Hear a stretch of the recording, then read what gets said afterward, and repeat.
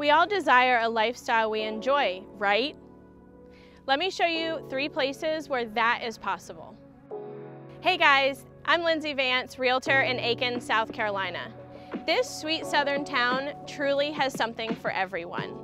I want to go explore three of my favorite outdoor locations in the area. Come with me. Our first stop takes up a huge part of the Aiken map. It's the Hitchcock Woods. It's also locally known as The Woods, and it's the largest privately owned urban forest in the entire country. It expands out to more than 2,100 acres and 70 miles of sandy trails. Here you'll cross paths with dog walkers, hikers, horseback riders, history buffs, and even bird watchers.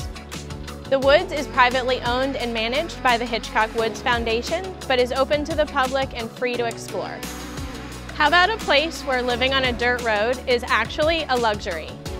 Okay, so not all the roads are dirt, but if they are, it's surely favorable to the horses.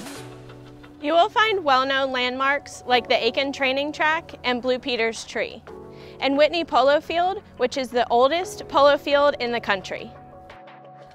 The real estate ranges from one-story cottages to historic mansions and horse farms. My favorite time of day here is in the morning where you can catch breakfast at the track kitchen and a beautiful sunrise over the racetrack. Now, for those of you who love your greenery and gardens, we can't forget Hopelands Gardens. This beautiful 14 acre estate has room for you to explore and pathways lined with live oak trees that are more than 100 years old.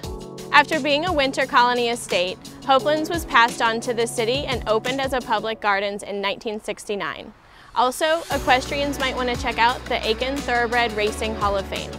Hopelands is a stunning location to take photos, host events, or just enjoy the outdoors.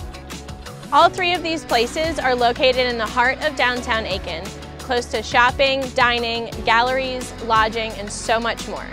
Subscribe to this channel to see more about Aiken and what makes it a place truly for everyone.